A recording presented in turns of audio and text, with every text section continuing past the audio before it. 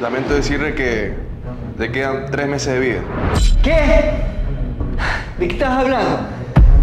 ¿Cómo que tres meses de vida, por favor? Date la vuelta para que me lo digas a la cara, eso no puede ser. Eso tiene que estar equivocado, por favor, Jorge, revísalo bien. No, Ricky, no hay forma de que esté equivocado, que haya un error en los exámenes. Lo revisé una y otra vez y efectivamente le quedan tres meses de vida.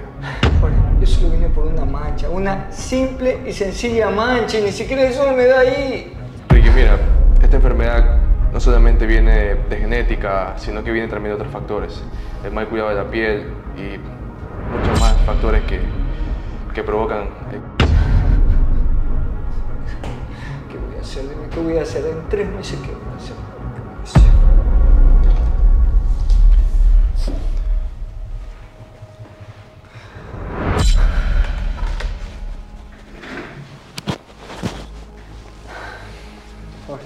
Tengo una solución. Dime qué tratamiento se puede seguir, por favor. Ricky, me encantaría poder decirte que hay alguna solución, pero lamentablemente dejaste de avanzar mucho en la enfermedad. Ya el cáncer ya está regándote por todo tu cuerpo y te quedan tres meses de vida, como te comenté antes. Mira, no sé si tengas algún familiar que pueda venir por ti. No, no. Esto no puede saberlo nadie. Sabes cómo he sido yo con mi familia. Esto no puede saberlo nadie. A mí no importa. Déjame, déjame pasar todo ese sufrimiento a mí solo. Te lo ruego. Por los años de amistad que tenemos. No le digas a nadie. Mira, Ricky, yo como amigo te aconsejo que busques un familiar, estés con tus seres más queridos, disfrutes estos últimos tres meses de vida que te quedan porque la verdad es que es muy lamentable lo que te, lo que te acaba de pasar. Me voy a retirar. Conversamos. Gracias, amigo. Gracias. Lo lamento mucho, Ricky.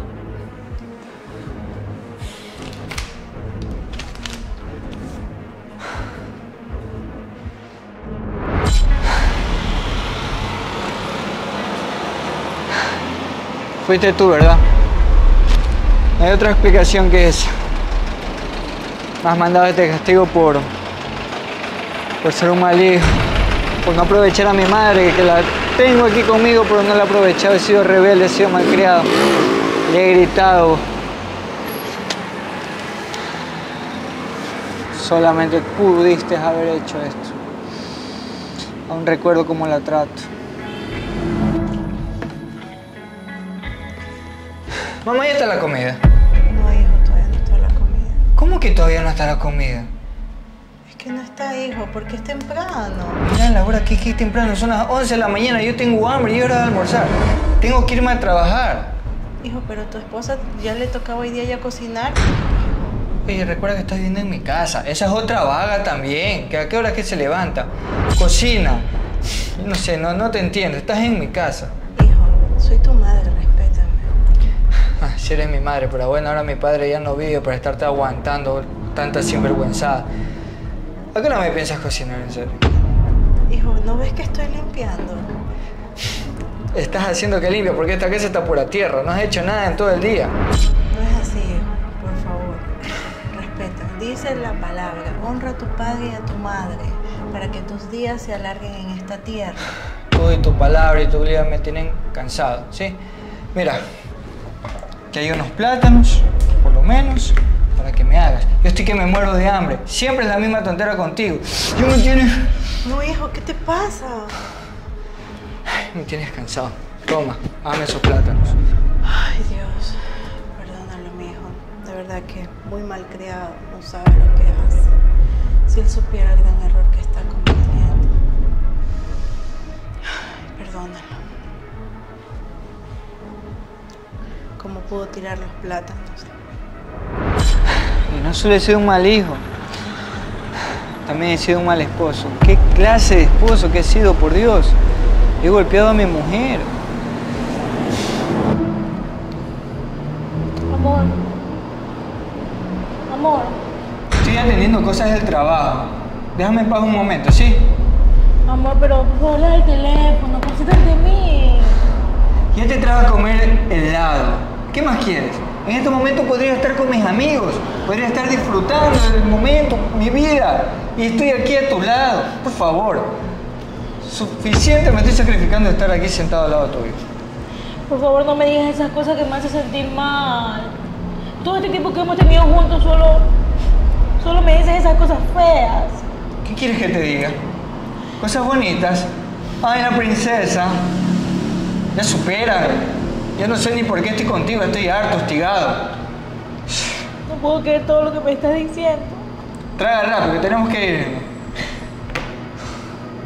¡Que tragues! ¡No! Les he hecho tanto daño a una mujer que simplemente lo que hace es amarme.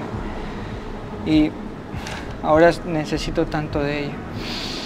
¿Cómo va a reaccionar? De seguro me dejará. De seguro no le importará. Pero no lo puedo permitir. Antes de morirme, tengo que hacer algo. Y es recuperarlas. Si me voy a morir, me moriré amado por ellas.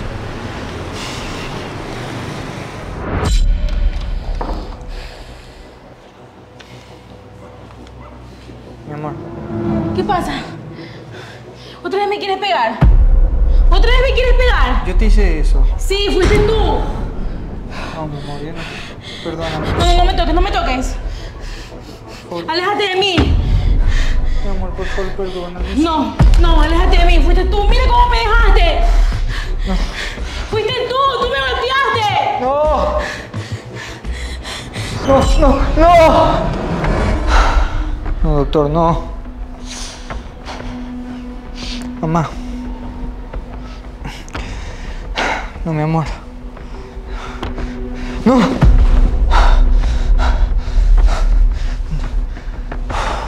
Fue una pesadilla. ¿Qué hora es? La cita con el doctor. Esta ropa está sucia. Amor, esta ropa es limpia y planchada. Con esta me voy.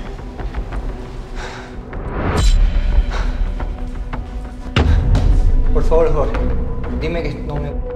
Dime que todo está bien. Ricky, ¿qué tal? ¿Cómo te va? ¿Por qué me dices esas cosas? No entiendo. ¿Qué pasó? Tienes los resultados de los exámenes, ¿verdad? Sí, claro, aquí están. ¿Qué Y- tengo? Claro que sí, Ricky, aquí están. No entiendo por qué me dicen todas esas cosas. Soñé que me iba... Estoy fatal.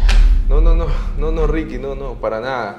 Eh, salieron todo bien tus exámenes, eso sí, te salieron los niveles de glucosa un poquito altos y te recomiendo que bajes un poco los niveles de azúcar, las dosis de azúcar, entonces de ahí está todo bien. Muchas gracias y voy a enmendar varios errores que he tenido. Te lo agradezco, brother.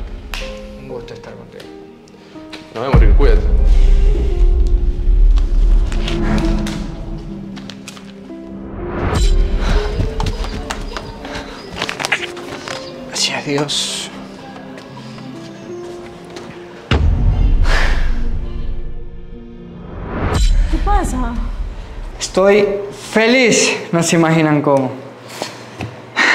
Me acabo de hacer unos exámenes, no me había sentido bien, la verdad, no se lo dije por no preocuparla, pero ¿Exámenes de qué? quería descartar cualquier cosa. Y me siento feliz porque todo salió negativo, estoy de la mejor manera. O sea que tú estabas enfermo y no nos habías dicho nada. Mamá, solo me había sentido un poquito mal, no te preocupes, pero sabes, esto me llevó a reflexionar mucho. Sabes cómo me arrepiento en todo como te he tratado, de la manera en que te he humillado. De verdad que no te lo mereces. Tú estás en mi casa y eso me hace a mí muy feliz, porque tengo a las dos mujeres de mi vida aquí, conmigo, a mi lado. No te imaginas cuán feliz soy con eso. Te mereces lo mejor, mamá. Perdóname por todo el trato que te he hecho, por todo lo que te he dicho. No te lo mereces.